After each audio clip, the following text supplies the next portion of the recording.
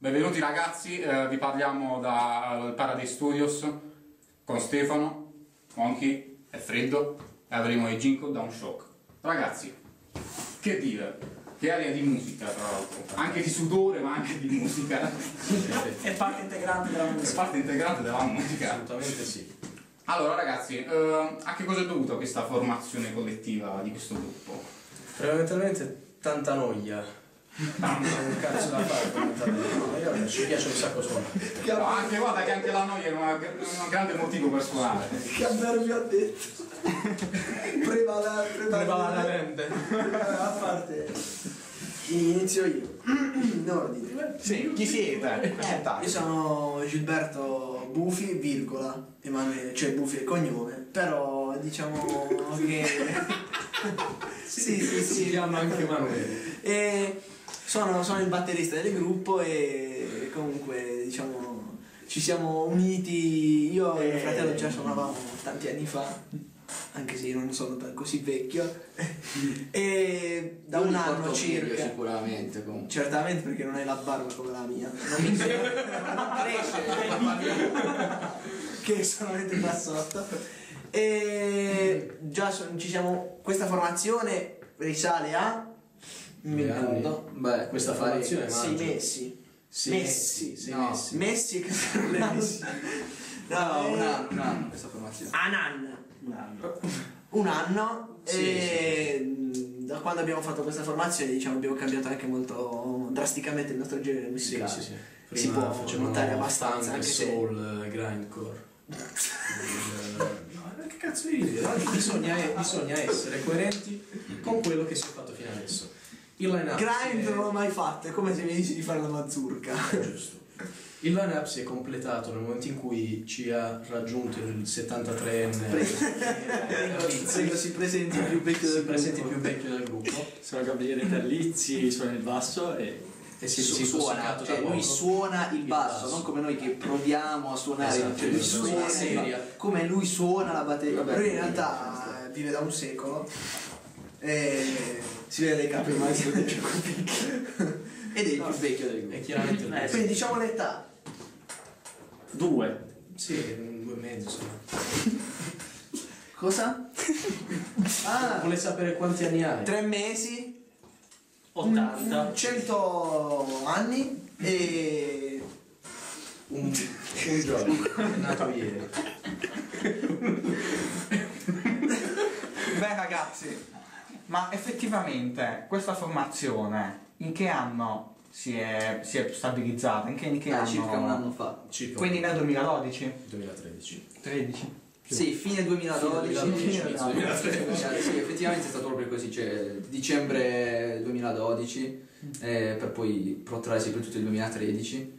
Eh, diciamo appena formati abbiamo iniziato con svariati tipi di generi, diciamo con questo- questa formazione che variavano dal, dal classico progressive in assoluto, cioè quello proprio vecchio stile, eh, eh, a punte di, di- di- metal, però non, non- non estremo. Come siete arrivati a questo genere Eh, sperimentale? questo genere siamo arrivati eh, perché ci, cioè nel senso incontrando queste quattro teste incontrandosi queste quattro teste tra l'altro c'è una particolarità cioè i suoi gusti musicali sono l'opposto dei miei l'opposto dei suoi e quelli suoi sono l'opposto dei miei e l'opposto dei suoi. Tu Dov'è che provate? È sempre a Moffetta? Avete sì, sì, un locale che abbiamo costruito io e lui con eh, diciamo eh, sangue, eh, sangue, eh, ci, accedere serve fare come Batman che si cacciare i tasti del pianoforte. Cioè, si gira il muro. Grande! cioè, controllare fino a nostro- poi alla fine Avete Alfred incatenato? Sì, sì. Sì, sì, sì, sì, che sì. mi smonta e monta. Allora dai, però dobbiamo sentire i vostri nomi e età, effettivamente. Alessandro, Alessandro Ciccolella, 21 anni. cosa studi? Mm, au- tecniche, tecniche audioprotesiche, medicina secondaria. Sei un genio. Poi. Eh. Genio è lui. Io, io ho 23 anni, Giordano Buffi e studio chimica. Ai. poi passiamo al più vecchio. 16 anni, Gabriele Terlizzi e faccio il terzo liceo scientifico. Gilberto. Buffi, 19 anni, faccio il quinto liceo scientifico e amo le giraffe. So questo. E quant- che età hai? 19.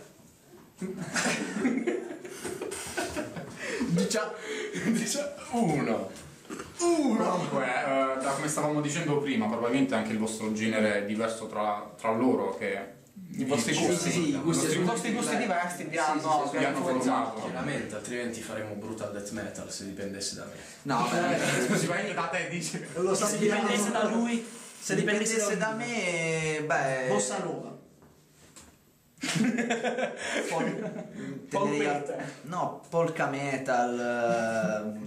qualcosa Farina del- metal, sì. magari. No, no, comunque secondo me se, se non ci fosse la sua influenza e la sua, se non ci fossero le loro influenze, Credo che non saremo i giri. eh, secondo me sfoceremo in qualcosa troppo simile a boh, Qualcosa che metal giace. moderni. Comunque il sound che si percepisce all'inizio, magari nella canzone che poi ascolteremo, ehm, somiglia molto ai Tool.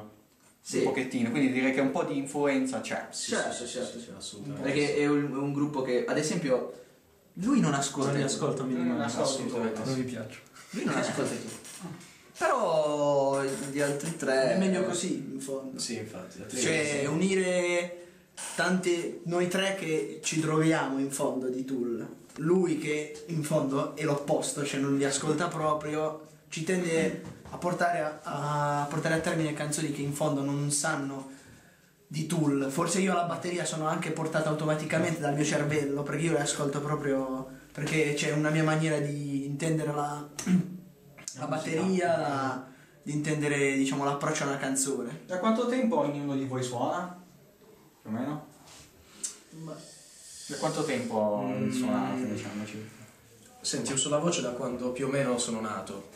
Più o meno. La chitarra la suono da... Dalla anni. seconda guerra punica. Dalla seconda guerra mondiale, da due anni. La voce, Ma, da dal terzo al quarto anno ho cominciato a parlare, quindi piano piano. Ah, io da di- dall'età di 18 anni ho iniziato a ah, maltrattare la chitarra, proprio maltrattarla. A torturarla. Sì, sì, sì, assolutamente. Poi l'ho lasciata per un anno, poi l'ho ripresa e da due anni cerco di suonicchiarlo, o almeno ci provo, ecco, in qualche modo.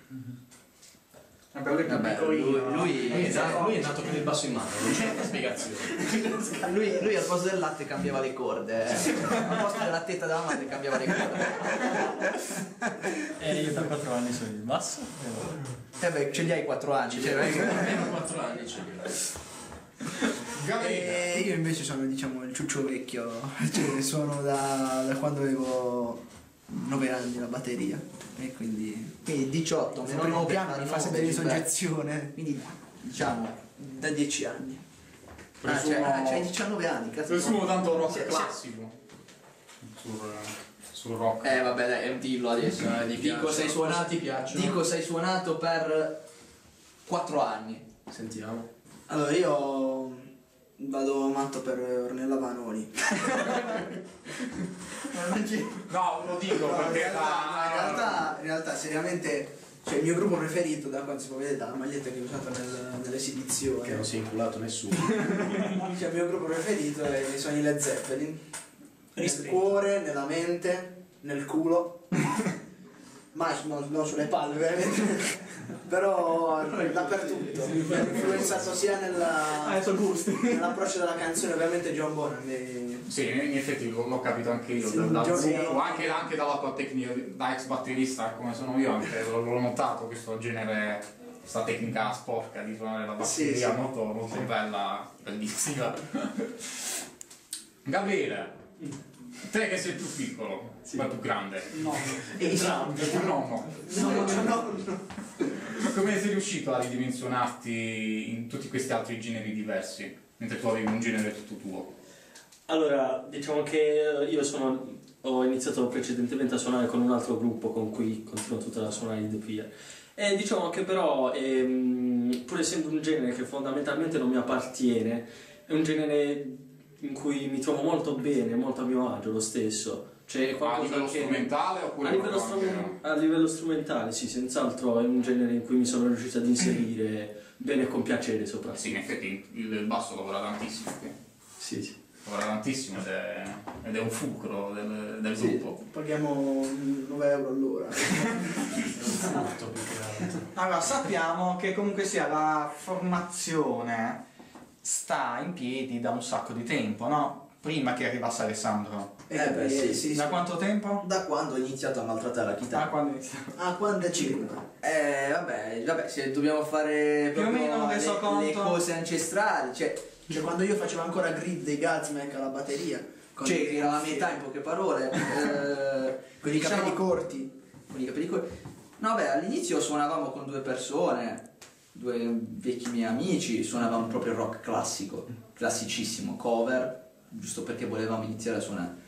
Poi diciamo noi due ci siamo allontanati e abbiamo costruito il locale, ci siamo comprati gli strumenti eh, con i nostri soldi e dopodiché abbiamo contattato questo, il nostro ex bassista, prima precedente a lui, Danilo De Canti. E questo Danilo si è portato un tastierista dietro e abbiamo iniziato a fare queste canzoni nostre, però ho detto molto tendenti al prog classico, appunto perché c'era la tastiera, c'era questa tastiera, questo sintetizzatore che tendevano molto a fare cose di vecchio stampo, diciamo. Ehm, dopodiché, vabbè, il tastierista abbandonato, forse perché l'ambiente era un po' troppo forte per lui. Si è dato al eh, jazz. si è dato al jazz, il tastierista completamente folle, eh, bravissimo però. Ehm, poi Danilo a un certo punto, diciamo, dopo che abbiamo can- cambiato circa 12 cantanti, una cosa del genere, eh, quando è arrivato lui... eh, Ci è rimasto perché ci fa pena in fondo. Cioè. No, in realtà è ancora perché. Il 13, Anche diciamo, perché se lo cacciamo poi dove cacchio andiamo a fare un altro cantante. quindi. Sono finiti quelli della zona, insomma. ne Sì, sì, no, ce ne sono, sono finiti completamente, ce li abbiamo provati tutti. Eh, ho provato a chiamare Maynard, però ha detto, no, su- guarda, sono impegnato col prossimo tour. Solo per quello. volentieri, però. Ha detto, verrei volentieri, però... Sai che coach da fare. Poi è l'unico. Poi, appena no, abbiamo anche provato a chiamare Ornella Vanoni, giusto perché lui era interessato.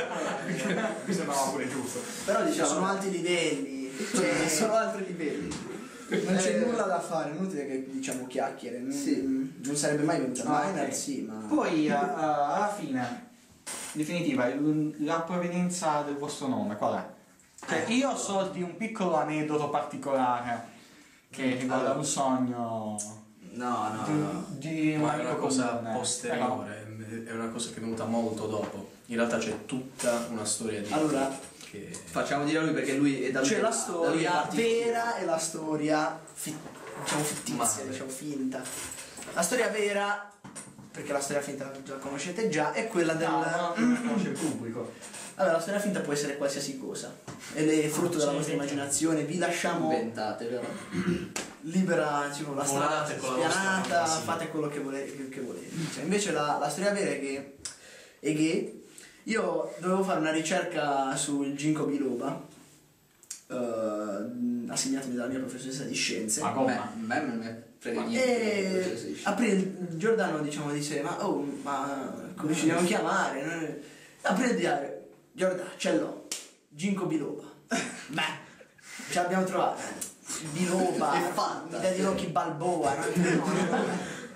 Cinque Rocky Balboa non, effettivamente dai di Rocky Balboa però Ginkgo Balboa Comunque pensiamoci che Ginkgo Balboa non è un brutto nome, Balboa pensiamo. non è un brutto nome effettivamente però pensandoci, pensandoci Giordano. Una volta nella sua vita aveva ragione cioè io ho dato una volta ragione a Giordano una volta nella mia vita. E diciamo che in questo ambiente abbiamo cercato di farci un viaggione perché effettivamente il ginkgo biloba è stata l'unica pianta che è sopravvissuta al disastro di Hiroshima quindi al, al, diciamo, agli effetti della bomba nucleare e quindi quel dawn shock cioè quello shock che ha il ginkgo al suo risveglio cioè il risveglio è quello diciamo quel momento in cui il ginkgo si riapre i suoi rami e le sue foglie dopo l'esplosione e diciamo si rimane attonito nel guardare ciò che è rimasto, anzi ciò che c'era e non c'era, ciò che non, Non è, è non è rimasto. rimasto, ciò che non è rimasto. Di quello a causa di questa bomba. Quindi voleva essere un po' una cosa naturalistica. Quindi è anche contro come il se vuol dire quello che sopravvive nella musica. Esattamente, Quello anche essere- prendere- vedi questa ad esempio è un'altra interpretazione, cioè Voglio dire su ognuno questo motivo. Perché il disastro di Hiroshima è X Factor, cioè la bomba di Hiroshima è X Factor, anzi è la, la, diciamo, la, la TV in genere. E cioè la TV in genere, i, f- i, I fichi. i talent show, i fichi, I fumetti. i fumetti, i fioroni, e, però in effetti cioè, quello è però ognuno voglio dire può dare la sua interpretazione, come tu hai dato la tua, però senti già, già paghiamo lui, quindi con quei diritti puoi infilare. eh. Dopo questa risposta ti darà 10 la professoressa. Allora ragazzi, ma eh, i Jingle Down Shock eh, che esperienza hanno avuto e cosa hanno in mente per- di fare? Qualsiasi cosa. No, dico, avete qualche progetto in mente Se potessi niente di certo? dire quello che vorrei fare con la, con la musica che riesco a creare e cercare di proporre un'alternativa al- allo scenario musicale attuale. Perché la cosa diciamo che odio più di tutte è vedere che la musica si fossilizza sempre solo su un genere, su un- una tipologia e degli, di stereotipi che impone il mercato. Ma comunque, diciamo, noi siamo qui anche per un altro motivo. Sì. Voi avete scritto anche un album, Beh, sì. un EP. Un EP. Sì, sì. L'abbiamo presentato Sì, la sì, nostra sì. prima la presentazione. Ma Vabbè, perché il vostro ma- album si chiama 324?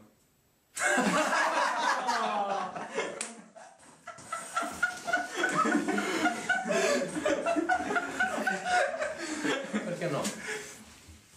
Perché non 324? È tutta una questione di libera interpretazione fondamentalmente. Niente di Perché più. no? Quando è che avete iniziato a scriverlo? Non so se si è sentito. Mettiamo un sottotitolo. Abbiamo iniziato a scrivere, dunque abbiamo, i pezzi li abbiamo pronti da relativamente poco, nel senso che dal- dall'inizio del 2013 abbiamo cominciato a scrivere i pezzi. Il più vecchio è Doppelganger, è la prima traccia del CD, e- è la più datata. Poi piano piano abbiamo conseguito diversi tipi di sonorità e sfaccettature diverse. Ci siamo arricchiti un po', diciamo. Gabriele, non ti distrarre. per favore. È importante. No, no, no. Te che sei il più grande e il più piccolo. Sì. Eh, giusto per curiosità, anche vedendo i video, il video che avete fatto. Sì. Questo- questa figura che si vede o non si vede, chiamato B. Eh, ma chi è questo? Lo chiamiamo? Ah, sì, lo Eh, potremmo chiamare. Vai, chiama, Una chiama, parola. chiama, chiama, chiama. Bill. Oh, è Bill, e vieni, dai. E me. fare il team. Dai, ma- Oh, carissimo, ti vedevamo in questo video, ma prima di tutto sponsorizzi le camere come sigarette. mi pare, mi pare che non sia d'accordo. Molto, molto loquace. Ok, va bene. È, è chiarissimo. Da dove? Ma che? Vabbè, rispondi a me. A me non Un risponde. po' di serietà. Loro erano i Jingle Down Shock.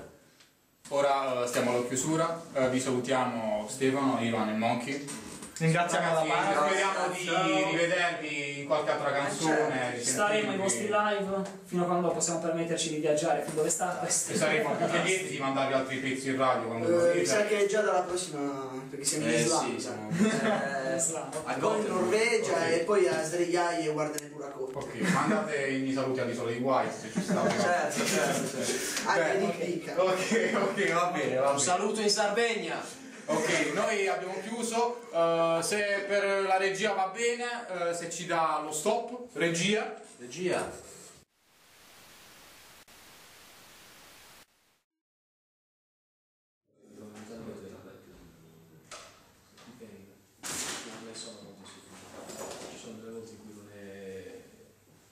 Dipende sempre dal caso, dipende sempre dal caso. Ciao Vini!